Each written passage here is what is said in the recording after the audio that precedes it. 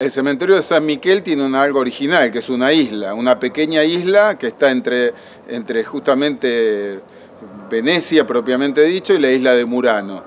Y lejos de lo que dice Wikipedia, Internet, las guías de turismo que se publican, donde dice que el cementerio de San Miquel no tiene orden o no innova, al contrario, como todo cementerio italiano, tenemos una parte de que tiene que ver con vanguardias del siglo XX, racionalismo, estéticas fascistas y del siglo XXI, porque también este cementerio sigue innovando y van a encontrar monumentos neorracionalistas en, eh, en la parte más nueva.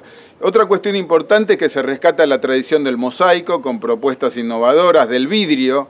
La isla de Murano está cerca y vamos a tener algunas tumbas que rescatan esa tradición del vidrio y del cristal. El bajo relieve es otro aspecto importante. Las lápidas más antiguas también nos llamaron la atención porque tienen pirámides, eh, digamos, no obeliscos, como estamos acostumbrados a ver en otros cementerios occidentales, sino formas piramidales. Bueno, y lo, otra cuestión que quería decirles es que si uno espera encontrar en el cementerio de Venecia monumentos espectaculares como hay mismo en la isla donde están los vivos, la gente donde van los turistas, Piazza San Marco, muy por el contrario, este, es un monumento, es un cementerio bastante discreto, eh, incluso en nuestro cementerio de la Recoleta tenemos monumentos más, más llamativos, eh, pero tenemos muchas cosas para descubrir aquí en Venecia. El vidrio, el bajo relieve, eh, justamente la tradición esta de, del mosaico y la sorpresa esa que cerca de Stravinsky, que es la tumba más importante aquí de Venecia, tenemos un jugador de fútbol argentino, descúbranlo. Y aquí en la parte ortodoxa o llamada griega encontramos también monumentos, digamos, podríamos decir neobizantinos, como lo hemos visto en Rávena, ¿no? donde aparecen mosaicos, mosaicos diseñados en, el siglo XX, pero con toda la estética propia de la iconografía bizantina que hemos visto en, Constantinopla, en Estambul, en Rávena, ¿no? y por supuesto aquí en Venecia. Otro aspecto interesante son los bajos relieves que encontramos en el cementerio aquí de Venecia, ¿no? en la parte, digamos, de siglo XX, ¿no? la parte racionalista, vanguardista, que tiene monumentos muy interesantes de ver.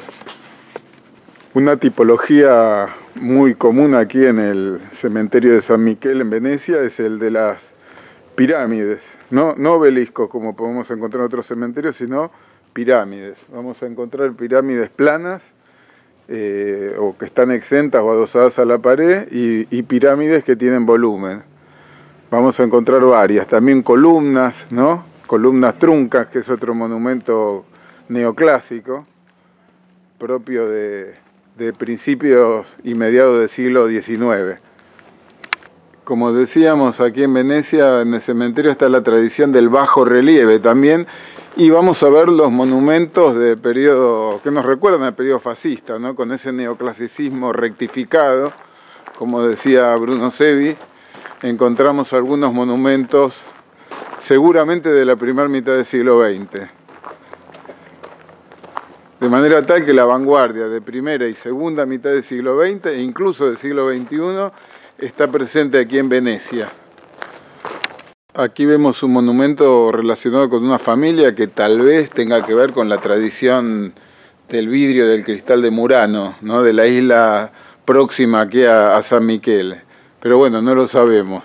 Pero evidentemente es una cruz de vanguardia donde el tema principal es el vidrio. Y ahora en el cementerio aquí de Venecia vamos a entrar a una parte, digamos, neorracionalista que está mencionada, anunciada como el proyecto del arquitecto Chipperfield, ¿no? el recinto número 23. Nos va a recordar también el cementerio de Módena eh, de Rossi, ¿no? Eh, un, una forma prismática, monocromática bueno, que podríamos meter dentro de lo que considera, se considera estética neorracionalista.